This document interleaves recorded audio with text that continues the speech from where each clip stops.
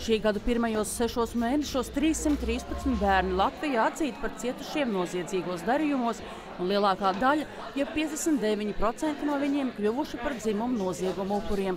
Tā liecina valsts policijas statistikas dati. Vairumā gadījumu dzimumu noziegumos cietušie bērni pāri darītāju pazinuši. Ņemot vērā šo noziegumu specifiku, būsim godīgi, nevienam nav ne jausmas par patieso noziegumu apmēru. Līdz ar to mēs varam teikt, ka tā ir absolūti mazākā daļa. Un tas, ko mēs no pieredzes redzam, ka visi tie noziegumi, kuri notiek aiz slēgtām durvīm, nereti tur arī paliek, un cietušie pēc gadiem 15, 20 vispār gatavi par to runāt. Līdz ar to viņi ir tādā ārkārtīgi milzīga nobīde laikā, un šie dati, kas ir oficiālie dati, viņi absolūti neatspoguļo realitāti. Seksuālā vardarbība ir daudz izplatītāka nekā mums šķiet, un neviens bērns no tā pilnīgi nav pasargāts. Bērni par to nerunā, jo tas ir grūti un saistās ar kaunu un bailēm. Kampaņas ietvaros ir iespējams uzzināt, kā vecākiem padarīt bērnu dzīvi daudz drošāku, apmeklējot radošo telpu Rīgā Brīvības ielā 40, kas būs atvērta vienu nedēļu līdz 12. novembrim.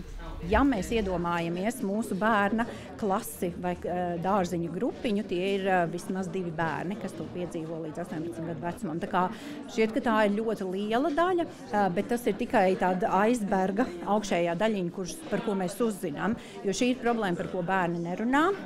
Tā ir tēma, kas saistīta ar ļoti daudz emocijām, dusmām, kaunu, vainas sajūtu, noliegumu, kas kavē mums kā pieaugušos saskatīt, saprast, kā rīkoties bet galvenokārt eh, rīkoties preventīvi, eh, lai novērstu šo problēmu.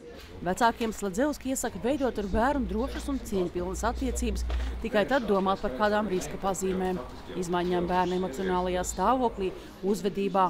Ja bērns distancējas, tie ir signāli, kam vecākiem vajadzētu pievērst uzmanību, lai sāktu ar bērniem runāt. Es kā cilvēks, kurš arī reiz ir saskāries ar šāda veida vārdarbību, un skaidrs, ka tas atstāja pēdas um, daudz, daudz, daudz gadu garumā, un visticamāk, arī visas dzīves garumā. Dažkārt bērni ir pārāk jauni, lai saprastu, kas ar viņiem patiesībā notiek. Nereti viņi nezina, kā un kam par pārdzīvoto pastāstīt. Tāpēc bērnu seksuālā izmantošana ir temats, kas bieži tiek paslēpts starp rindiņām. Savukārt pieaugušajiem trūkst zināšanu par to, kādi ir reālie riski un kā par tiem runāt ar bērniem. Un sarunas apvīd mulsums. Man ir līdzcietīvans Milaus, Latvijas televīzija.